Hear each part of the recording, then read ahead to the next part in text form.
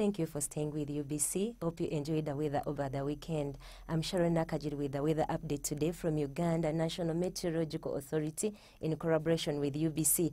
By 9 a.m., Lira reported the highest amount of rainfall of 4.5 millimeters. Looking at the satellite image taken over Uganda, it has been sunny in most parts of the country, apart from the western stretch, which had sunny intervals. This is still due to the low pressure center over the Indian Ocean that is still sucking moist winds that would form some rain, especially in the eastern sector of our country.